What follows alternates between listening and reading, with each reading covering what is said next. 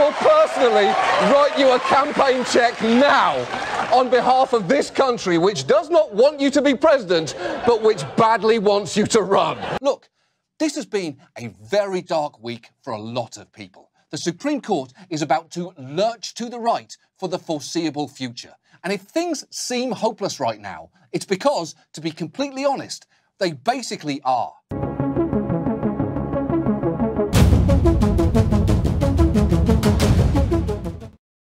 Amy Coney Barrett. Why is it that so many female judges have three names? Sandra Day O'Connor, Ruth Bader Ginsburg, Judge Penny Brown Reynolds? Judge Barrett's been on the Seventh Circuit Court of Appeals for only three years. In that time, she's authored a little bit over a hundred opinions. Unlike the US Supreme Court, the Court of Appeals doesn't get to pick which cases to review. So a fair amount of her opinions deal with boring, routine bullshit, like administrative agency law. Wow real exciting stuff. A lot of our recent conservative justices have been nothing but a disappointment. I think we have yet to see a true successor to Antonin Scalia emerge. Could Judge Barrett step into that role? Could she end the abomination of the fraudulent constitutional right to a zone of privacy? Well, I can't ascribe to her a full-fledged judicial philosophy at this point. She simply hasn't written enough. Instead, I intend to use this video as a little bit of a preview into how Judge Barrett might be as a judge. Like the video game previews that I read in magazines growing up, there's still a lot unknown.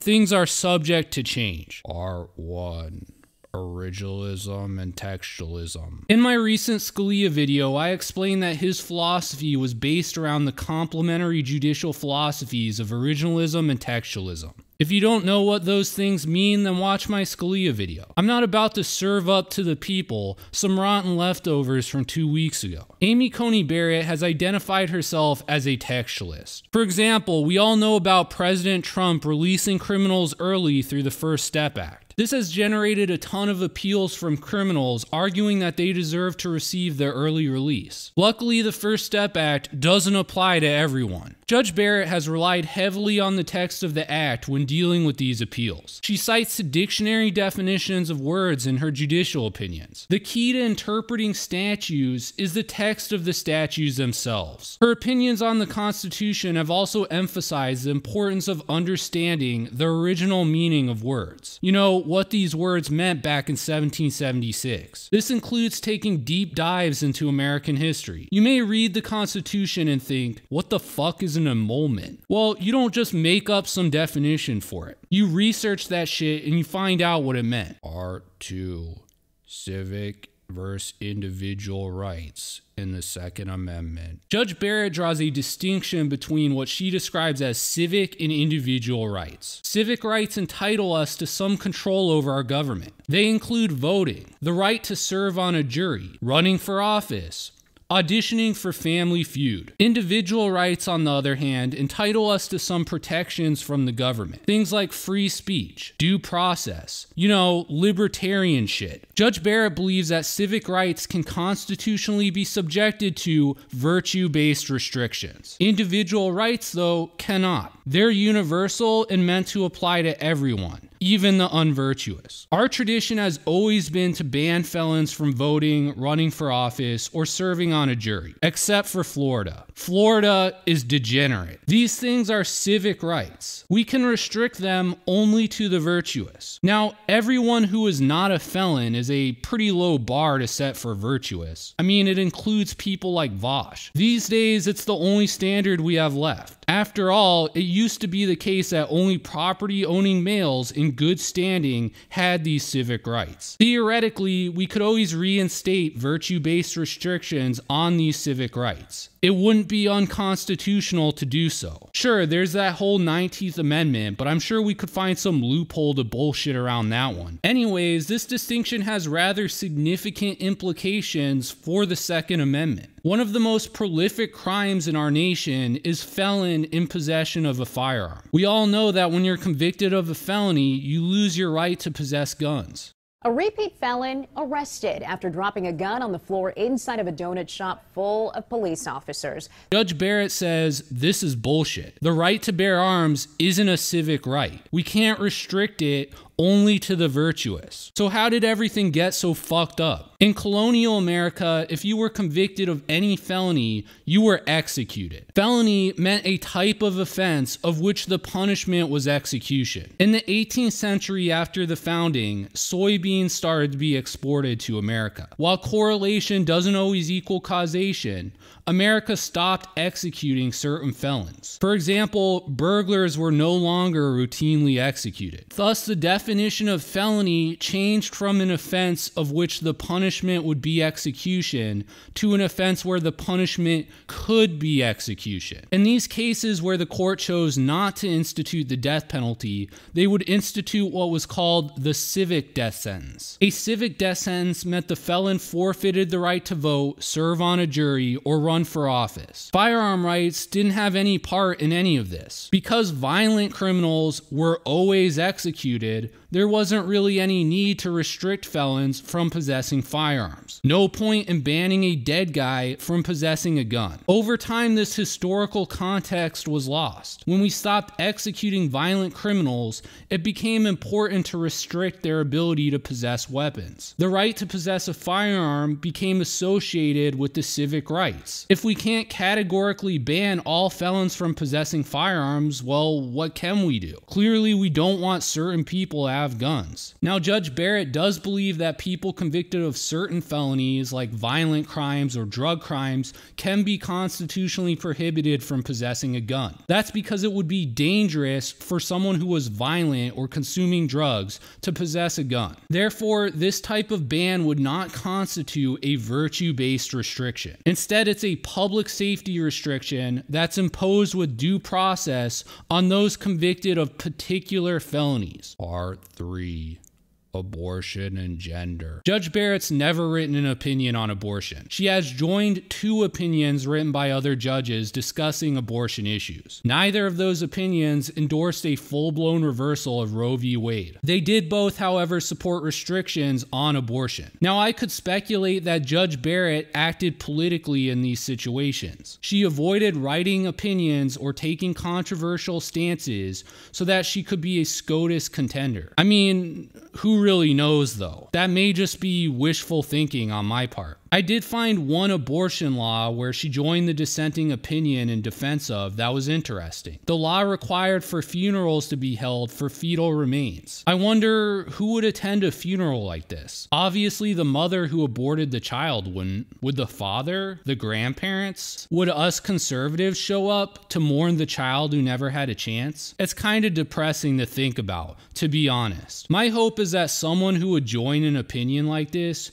wouldn't let the bullshit that is Roe v. Wade continue. We're all supposed to be citizens of a democratic republic. Don't belittle us in the believing that the Constitution protects this. If we're told that the US Constitution protects the right to an abortion, well, I can just as easily say that it protects the life, liberty, and pursuit of happiness of an unborn child. I can at least point to instances where the founding fathers used that specific language. Show me the Federalist paper where Thomas Jefferson talked about the right to an abortion. If the Constitution doesn't clearly prohibit something, it's meant to be left for the state states to decide. The only other notable opinion by Judge Barrett on gender weighed in on this whole campus kangaroo court sexual assault proceedings. In a sex discrimination lawsuit against Purdue University filed by a man, Judge Barrett reversed a lower level decision granting summary judgment in favor of the university. Judge Barrett found a plausible inference that Purdue had discriminated against the plaintiff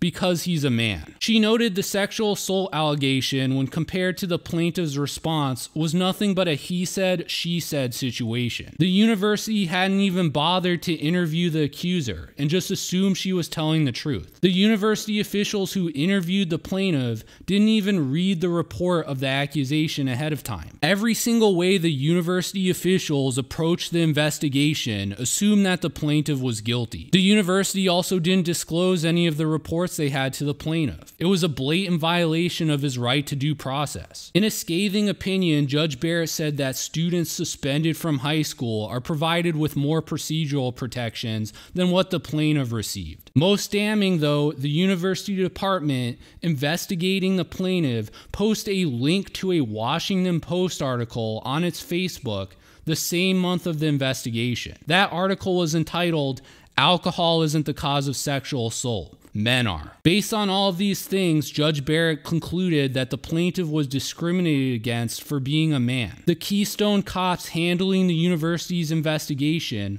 were nothing but a bunch of sexist, bungling idiots who couldn't handle working at a middle school. R4 procedural law. Based on the opinions I read, Judge Barrett seems to prefer to resolve her cases procedurally when she can. She often addresses jurisdiction and standing even when the parties don't dispute these things. Now, procedural bullcrap can be a great way for a judge to get rid of annoying shit without having to deal with all the boring law stuff. However, Judge Barrett often addresses procedure even when she ends up making a ruling on the merits. Now, I'm not going to explain to you federal jurisdiction jurisdiction law. It's complicated and really fucking boring. It's not worth going into. I will tell you that standing refers to whether the proper person has brought the lawsuit. Now, let's say I posted a video with fake evidence indicating that Vaush had molested a young boy. Let's say after doing this, Vaush declined to sue me for defamation because, let's face it, Vaush is terrified of me. Instead, Xanderhall sues me. Xanderhall wouldn't have standing, and therefore his lawsuit would end up getting dismissed. That's because my video was about Vaush, it wasn't about Xanderhall. Now let's talk about how Judge Barrett decided this case. First, some background. Obama wanted to build some Obama Center to celebrate his worthless presidency. So, where do you put something like that? Well, the south side of Chicago, of course. You know, because Obama did so much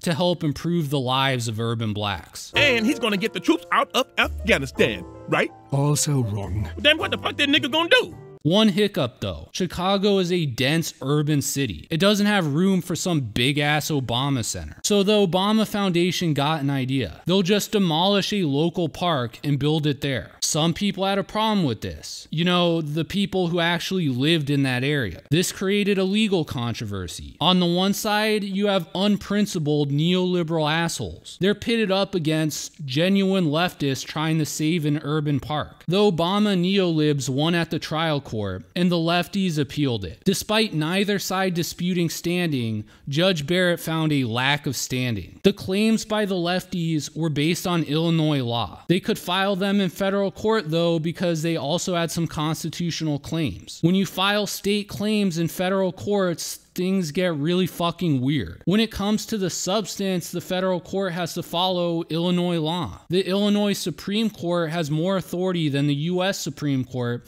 in this type of situation. Here's where it gets all confusing though. The federal courts don't have to follow Illinois procedural laws. Standing is considered a procedural law. The Illinois claims are based off an anti corruption law. It prevents the government from just giving away public property to a private person. So, under this law, Chicago can't just give Obama a park. Because it's not their property being given away, though, Judge Barrett ruled that the lefties have no standing. While the Illinois anti corruption law does give standing to people who are taxpayers, that's a purely procedural law.